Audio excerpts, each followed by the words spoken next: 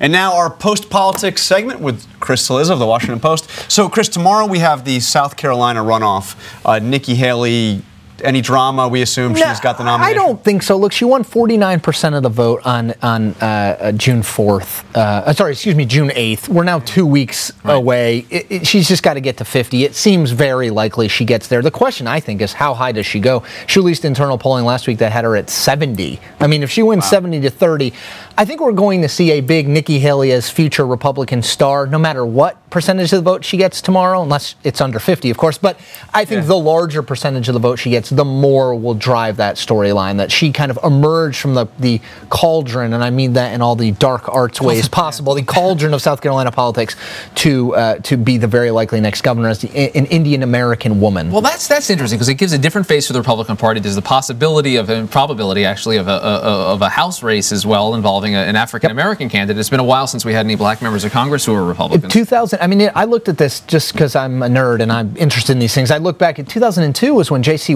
Watts, the, the last African American Republican House member, left. So, yeah, I mean, you're talking about eight years. Uh, Tim Scott is the guy you're referring to. Uh, Rick State uh, rep was running for lieutenant governor, uh, encouraged into this South Carolina 1 race, which, of course, has the distinction of being Mark Sanford's uh, old congressional district down there in Charleston, encouraged by national Republicans into this race for a number of reasons, including they thought he could win. But one big reason is they understand they need more diversity. They can't be the party of old white men and build a winning coalition in 2012. This is a step in that direction, they believe.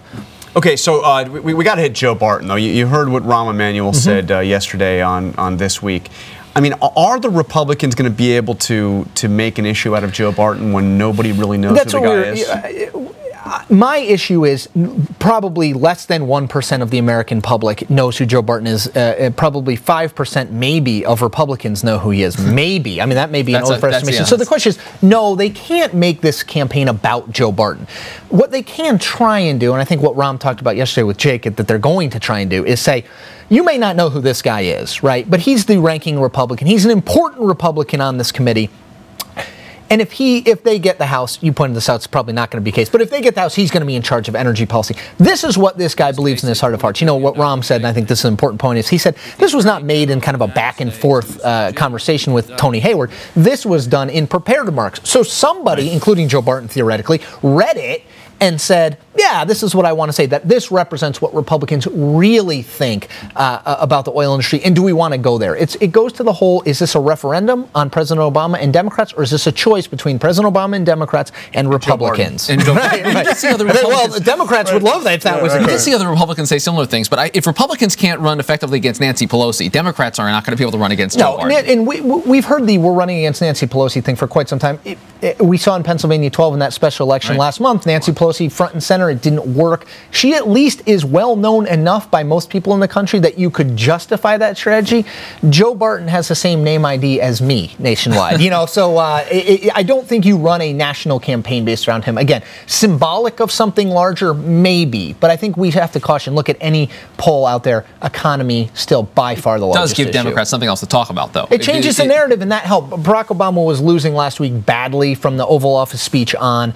Uh, uh, you know, you had the BP executives continuing to say small people, things that they shouldn't right. say. Tony Hayward yachting uh, at yeah. the Isle of Wight. This allowed them to say, "See, we may not, you may not be thrilled with what we're doing, but." Look at what they're doing. Right, look right. at what they really think. Changing the narrative is always helpful, even if for only a couple days. All right, Chris Cillizza from the Washington Post, the Fix Chris. columnist. Thanks, guys. WashingtonPost.com, Post Politics. We appreciate it. Thank, Thank you. you. for having me. Let's work on Chris's name ID in the meantime. Let's see if he yes. can beat Joe Barton. Come on. What do you think? All right. Get up to He's five. Uh, so that so does it for the, the decision. Uh, Twitter.com slash the note. You know, the, the, the, the, the yachting